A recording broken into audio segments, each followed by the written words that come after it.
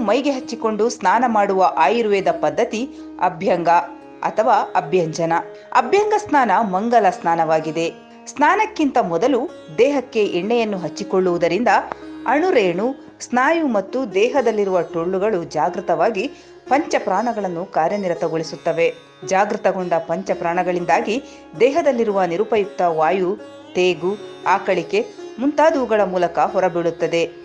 ಇದರಿಂದ ದೇಹದಲ್ಲಿರುವ ಅಣುರೇಣು, ಸ್ನಾಯು ಮತ್ತು ಆಂತರಿಕ ಟುಳ್ಳುಗಳು ಚೈತನ್ಯವನ್ನು ಗ್ರಹಿಸಲು ಸಂವೇದನಶೀಲವಾಗುತ್ತವೆ.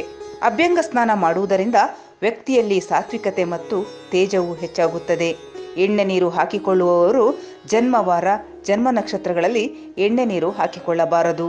ಮಂಗಳವಾರ, ಶನಿವಾರ, ಭಾನುವಾರ ಅಭ್ಯಂಗ ಸ್ನಾನ ಮಾಡಬಾರದು. ಪಿತೃಶ್ರಾದ್ದ ಮಾಡುವವರು ಮೊದಲ ದಿನ, ಶ್ರಾದ್ದದ ದಿನ, ಮಾರನೆಯ ದಿನ ಅಭ್ಯಂಗ ಸ್ನಾನ ಮಾಡಬಾರದು. ಅಮಾವಾಸ್ಯೆ, ಪೂರ್ಣಿಮಾ ಸಂಕ್ರಮಣದ ದಿನಗಳಲ್ಲಿಯೂ ಎಣ್ಣೆ ಸ್ನಾನ ಮಾಡಬಾರದು.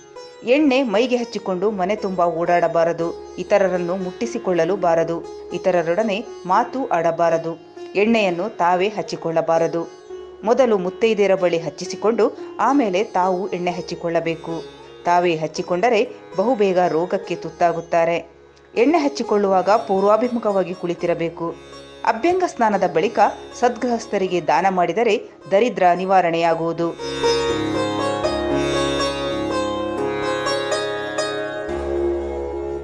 ಈ ವಿಡಿಯೋ ನಿಮಗೆ ಇಷ್ಟವಾದರೆ ಲೈಕ್ ಮಾಡಿ, ನಮ್ಮ ಅನಗವಾಣಿಯನ್ನ ಸಬ್ಸ್ಕ್ರೈಬ್ ಮಾಡಿ, ಪಕ್ಕದಲ್ಲಿರುವ ಬೆಲ್ ಬಟನ್ ಒತ್ತಿ.